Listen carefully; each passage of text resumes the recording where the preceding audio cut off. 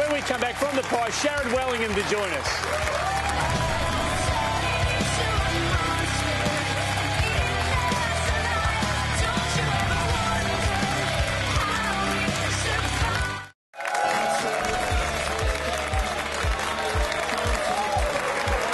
Welcome back to the show. Please make welcome a star from the Collingwood Football Club, Sharrod Wellingham, everybody.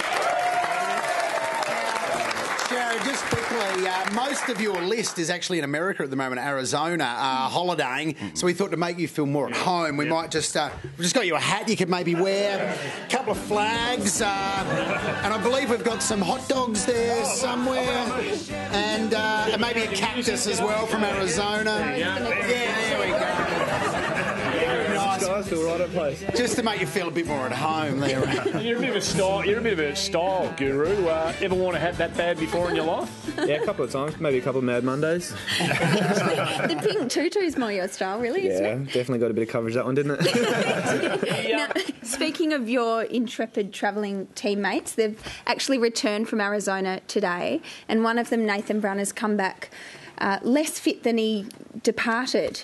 What have you found out about the circumstances? Yeah, it's a bit, un- bit unfortunate for Brownie. He's gone over there and, uh, by all reports, was doing really well and um, was coming along really well with his uh, operated knee. And uh, he's gone on and uh, injured his healthy knee. Although it did enable him to uh, purchase this T-shirt on the way home from uh, Arizona. Going to Arizona.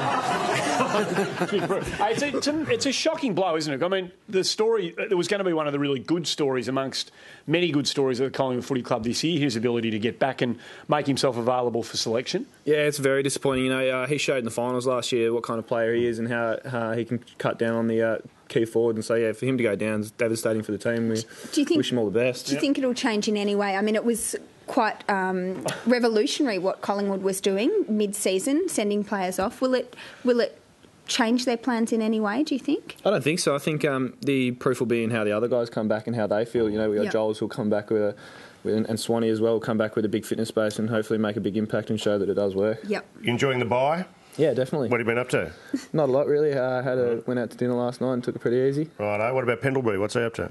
I'm not sure. Right, where's this going? Well, what, what's his uh, dreadlocks up to? not, not too sure. You haven't seen them around lately, have you? I haven't seen him. I'm Uh, glad what- they're gone though. Well, no, we've been following him around. Have a look at his, his dreadlock out in the town. Here it is, doing some shopping. It's uh, on Chapel Street, I think. And uh, here, we've got a bit of bowling yeah, there. Loves a bit of, uh, you know, rock, rock, rock and roll bowling. And I'm not sure if is, is, is that his girlfriend. I don't know if it is. Good to see him out and about though, making the Dread's most. better at bowling than he And sp- hey, Sharrod, speaking of girlfriends, we read a column during the week that uh, she's giving you a pep talk on the way, and she said, "There's no Thomas, there's no Swan. It's time for you to step up." Uh, you got 37 disposals, a PB. How much did it play on your girlfriend's uh, pep talk? Oh, she was pretty happy with herself after the game. But yeah, uh, other than that, she just said he has a good opportunity, so she was right. And uh, yeah, I was And happy she to play is my role. trying to get a, a role on the Bucks next year, assistant coach. Yeah, well, Ed actually, Eddie messaged me after the game and said if she wants a uh, assistant coach's role, it's there waiting for us. Speaking of, the, of, the, of coaching, it's an ongoing saga. We don't know what's going on next. Uh, Bucks has come out this week and said Mick can go wherever he wants. You got your choice of two coaches next year. I'm going to give you both options here. Let's take a look. Firstly, at Bucks at work. Look at him at training. Putting in, bang, hit the ball hard, get up, son, dish it off. That's the Bucks we know and love. And here's a, a quick look at Mick. And oopsie. I don't know. I Wh- think, which uh, one are you leaning to, Shad? I think I think Bucks will be looking to redraft himself. It looks like. Young footy uh, on Channel 10 following us uh, here tonight. St Kilda taking on Geelong at the MCG. It's going to be an absolute cracker. Can the Saints be the first side to knock the Cats over for 2011? We've assembled the best possible commentary team Channel 10 can assemble. That's why Lloydie's out. He's sitting with us here tonight, and we have brought in one of the big guns of football commentary, sitting alongside Robert Walls, Brian Strawn at the MCG. Good evening to you, gentlemen. You just, you just need to get over and be professional. So strong sorry, sorry. There's, there's a bit of tension here at the commentary box. Walls is accusing Strawny of stealing the last few sausage rolls and meat pies. Well, it's just not on. You Well, don't just walk in and take over. You've got no evidence. He's got no evidence. I have got evidence. You haven't got evidence? I've got evidence. We've got a spy cam here for people just like you. I've got a spy cam and I'm going to show you the evidence. So that's. This is ridiculous. Well, Oh, Hutto and I deep in That's- conversation. Who's that in the background? that's Hutto. No, that's that's quarters. Quarters stole the pies. Look at him. Oh, Go back for another one. You're going back for another. You can't, Strong. can't help yourself. Wow. Grow up, grow up. We're here to talk about the footy. Brian, I might um, put your expertise on football to great use. I want to know your opinion on St Kilda. Plenty of off-field distractions to talk about, but have they finally, finally started putting it behind them? Oh, well, let's hope so. I assume you're talking about all the business with uh, Nixon and, and the, uh, the St Kilda School. Yep. I think we all, we're all, all over that, aren't we, aren't we, Wallsy? Well, we are. Oh, the media circus about that. Seriously, they should be talking about Strawny. Nobody's gone with the story about Strawny hanging out with the, the Footscray schoolgirl. Uh, and I must say, she, she, she's, she's 43 years old. i got to pay her by the hour, but still a good story.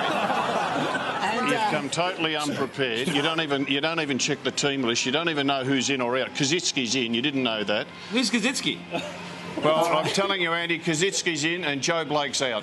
Well, that's a big. Uh, that is a big selection news there uh, for St Kilda. Rob, thanks for that.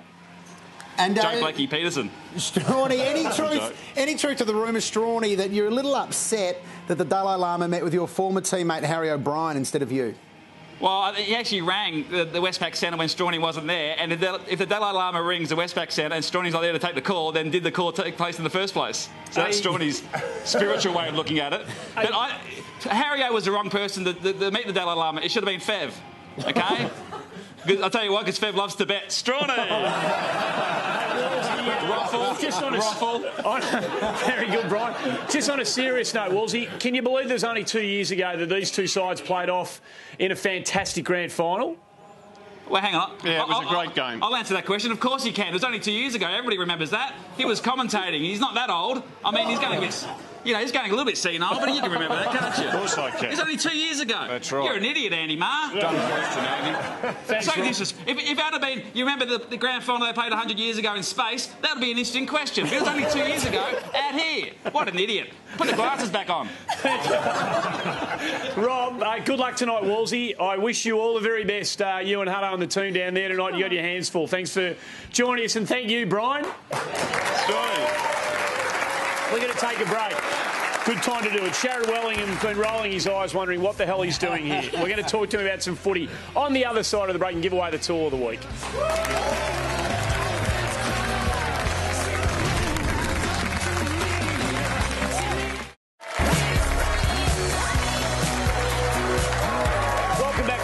Back to the show. Sharrod Wellingham from the Pies, our special guest. Sharrod, absolutely loving watching Collingwood, my favourite team to watch in the competition. Do you think you're actually travelling better this year than you were last?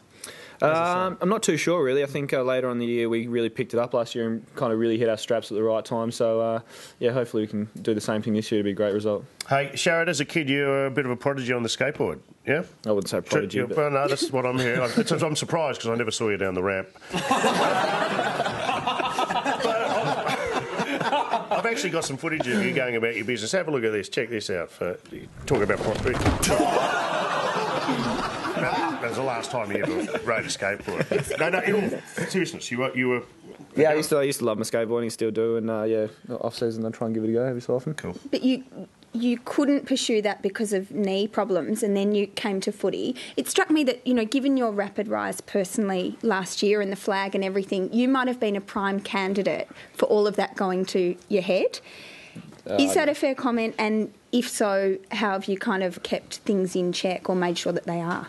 Well, yeah, from from where I came, you know, I came off the rookie list, and I, th- I lived with Maxi, and he always instilled to me that you know, no matter where you, where you are at the career, stage of your career, you're going to have to keep working hard, and you know, um, one one bad week's going to undo all the good work you've done. So it's kind of the attitude I take in each week. When you got down to the club, did you follow someone around? Did you kind of you hear of young players coming to footy clubs and latching onto a senior player to see how you're supposed to go about the business? Did you do that when you got to Collingwood? Um, yeah, I suppose Obes was a big influence at the start of my career, and then um, obviously, like I said before, living with Maxi, that was awesome. You know, the professionalism and the way he went about his footy from day one was awesome. To just see that every, every day was awesome. One of the favourite segments of the show every single week. It's the home hardware.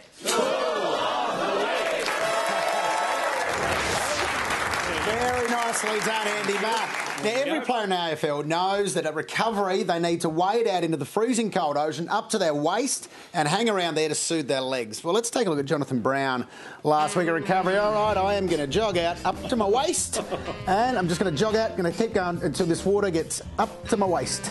We will, yep, any minute now. Any minute now, we're just gonna. Jonathan Brown, you're at St Kilda Beach and the tide's out. You're going to end up in New Zealand. You're going to keep going for not checking the tide and not realising it was St Kilda Beach. Jonathan Brown, you are our home hardware tool of the week. You win yourself the Works 310 wide handy cut saw. With the Works, you've got the power. Well done to you, Brandy. Well done to you, Limo. Well done to you, Sam. Well done to you, Sharrod Wellingham. A break more from the pie when we come back.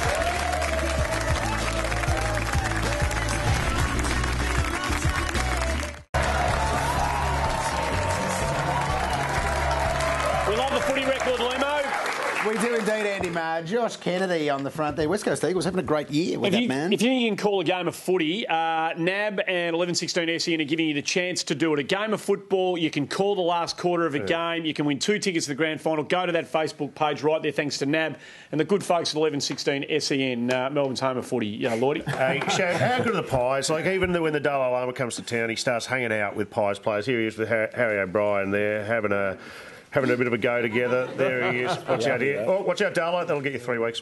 and apparently, he also joined you down at Recovery after the game. He was hanging around a lot, yeah? Yeah, I you think get rid of him. A shot of that there. There's the at, at Recovery. I think he's doing a bit of a stock take there too. I He started just rubbing Harry. Is there a glow about him now? We ask all the Collingwood people this. Has he just become a bit more special than he was before?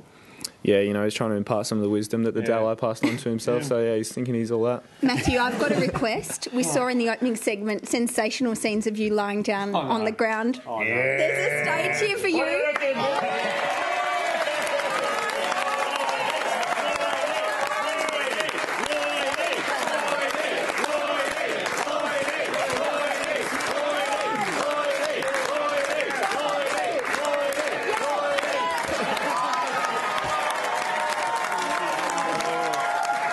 show has marbles, this program of ours. How do you do that to a legend of the game? I will never know. Hey, Sharrod, thanks for coming on, mate. And all the, all the best for the rest of the season. As Lloydie said, it's great watching you blokes play your footy and all the best for the rest of the year. Thanks very much, mate. Thanks for having Sharrod me. Wellingham, our very special guest, everybody. Lloydie, I can't believe you did that. You're a superstar for. Well done. Matthew Lloyd joining us. Hughes will be back next week. There's a huge game of footy on next, and Kilda taking on the Cats. Stick around for that.